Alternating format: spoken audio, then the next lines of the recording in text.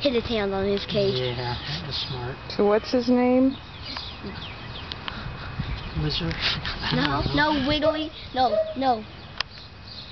I think it's Will, Willy the Wiggler.